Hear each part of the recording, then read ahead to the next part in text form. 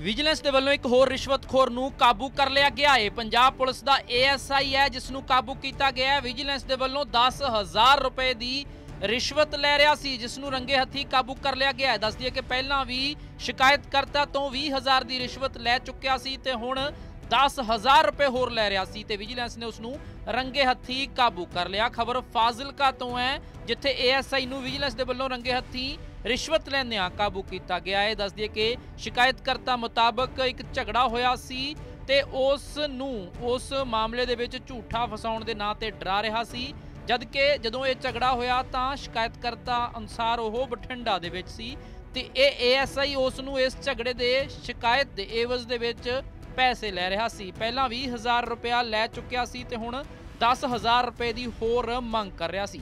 ਦੂਜੇ ਪਾਸੇ ਸ਼ਿਕਾਇਤਕਰਤਾ ਵਿਜੀਲੈਂਸ ਕੋਲ ਪਹੁੰਚਿਆ ਸ਼ਿਕਾਇਤ ਕੀਤੀ ਜਿਸ ਤੋਂ ਬਾਅਦ ਹੁਣ ਵਿਜੀਲੈਂਸ ਦੇ ਵੱਲੋਂ ਏਐਸਆਈ ਨੂੰ ਰੰਗੇ ਹੱਥੀ 10000 ਰੁਪਏ ਦੀ ਰਿਸ਼ਵਤ ਲੈਂਦਿਆਂ ਕਾਬੂ ਕਰ ਲਿਆ ਗਿਆ ਹੈ। ਵੀਰੇ ਐਸਾ ਹੀ ਰਿਸ਼ਵਤ ਮੰਗਦਾ ਸੀ ਮੇਰੇ ਕੋਲੋਂ। ਪਹਿਲਾਂ 20000 ਰੁਪਇਆ ਲਿਆ ਸੀ ਤੇ ਹੁਣ ਵੀ ਮੰਗ ਕਰ ਰਿਹਾ ਸੀ। ਜਿਹੜੀ ਮੰਗ ਇਸ ਕਰਕੇ ਕਰ ਰਿਹਾ ਕੋਈ ਤਰੋਬੀ ਰੋਡ ਤੇ ਰੋਲਾ ਹੋਇਆ ਸੀ। ਉਹਦੇ 'ਚ ਮੇਰਾ ਕੋਈ ਲੈਣ ਦੇਣ ਨਹੀਂਗਾ ਸੀ। ਉਸ ਟਾਈਮ ਮੈਂ ਬਠਿੰਡੇ ਗਾ ਸੀ ਜੀ।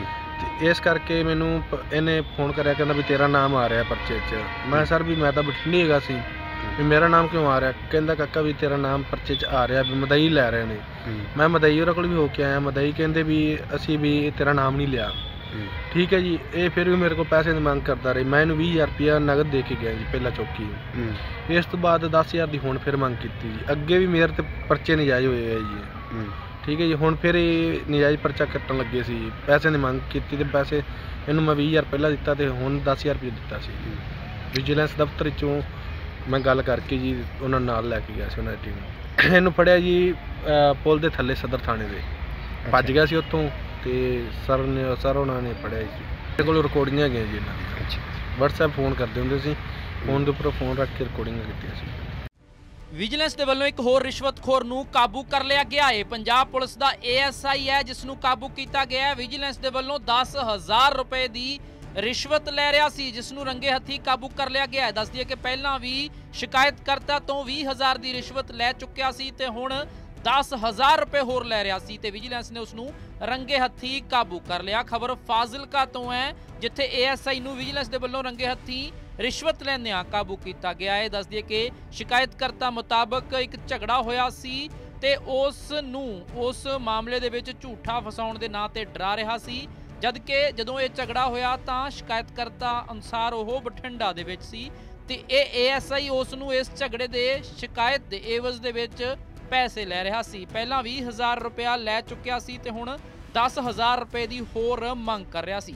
ਦੂਜੇ ਪਾਸੇ ਸ਼ਿਕਾਇਤਕਰਤਾ ਵਿਜੀਲੈਂਸ ਕੋਲ ਪਹੁੰਚਿਆ ਸ਼ਿਕਾਇਤ ਕੀਤੀ ਜਿਸ ਤੋਂ ਬਾਅਦ ਹੁਣ ਵਿਜੀਲੈਂਸ ਦੇ ਵੱਲੋਂ ਏਐਸਆਈ ਨੂੰ ਰੰਗੇ ਹੱਥੀ 10000 ਰੁਪਏ ਦੀ ਰਿਸ਼ਵਤ ਲੈਂਦਿਆਂ ਕਾਬੂ ਕਰ ਲਿਆ ਗਿਆ ਹੈ। ਵੀਰੇ ਐਸਾ ਹੀ ਰਿਸ਼ਵਤ ਮੰਗਦਾ ਸੀ ਮੇਰੇ ਕੋਲੋਂ। ਪਹਿਲਾਂ 20000 ਰੁਪਇਆ ਲਿਆ ਸੀ ਤੇ ਹੁਣ ਵੀ ਮੰਗ ਕਰ ਰਿਹਾ ਸੀ। ਜਿਹੜੀ ਮੰਗ ਇਸ ਕਰਕੇ ਕਰ ਰਿਹਾ ਕੋਈ ਤਰੋਬੀ ਰੋਡ ਤੇ ਰੋਲਾ ਹੋਇਆ ਸੀ। ਉਹਦੇ 'ਚ ਮੇਰਾ ਕੋਈ ਲੈਣ ਦੇਣ ਨਹੀਂਗਾ ਸੀ। ਉਸ ਟਾਈਮ ਮੈਂ ਬਠਿੰਡੇ ਗਾ ਸੀ ਜੀ। ਤੇ ਇਸ ਕਰਕੇ ਮੈਨੂੰ ਪ- ਇਹਨੇ ਫੋਨ ਕਰਿਆ ਕਹਿੰਦਾ ਵੀ ਤੇਰਾ ਨਾਮ ਆ ਰਿਹਾ ਪਰਚੇ 'ਚ। ਮੈਂ ਸਰ ਵੀ ਮੈਂ ਤਾਂ ਬਠਿੰਡੇ ਹੈਗਾ ਸੀ। ਵੀ ਮੇਰਾ ਨਾਮ ਕਿਉਂ ਆ ਰਿਹਾ? ਕਹਿੰਦਾ ਕਾਕਾ ਵੀ ਤੇਰਾ ਨਾਮ ਪਰਚੇ 'ਚ ਆ ਰਿਹਾ ਵੀ ਮਦਈ ਲੈ ਰਹੇ ਨੇ। ਮੈਂ ਮਦਈ ਉਹਨਾਂ ਕੋਲ ਵੀ ਹੋ ਕੇ ਆਇਆ। ਮਦਈ ਕਹਿੰਦੇ ਵੀ ਅਸੀਂ ਵੀ ਤੇਰਾ ਨਾਮ ਨਹੀਂ ਲਿਆ।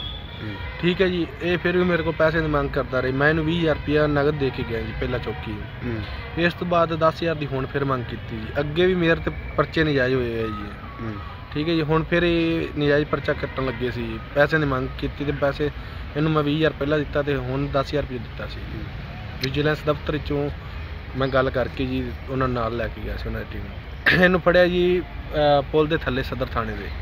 ਭੱਜ ਗਿਆ ਸੀ ਉੱਥੋਂ ਤੇ ਸਰ ਨੇ ਸਰ ਉਹਨਾਂ ਨੇ ਫੜਿਆ ਜੀ। ਮੇਰੇ ਕੋਲ ਰਿਕਾਰਡਿੰਗਾਂ ਗਈਆਂ ਜੀ ਇਹਨਾਂ ਦੀਆਂ। WhatsApp ਫੋਨ ਕਰਦੇ ਹੁੰਦੇ ਸੀ। ਫੋਨ ਦੇ ਉੱਪਰ ਫੋਨ ਰੱਖ ਕੇ ਰਿਕਾਰਡਿੰਗਾਂ ਕੀਤੀਆਂ ਸੀ।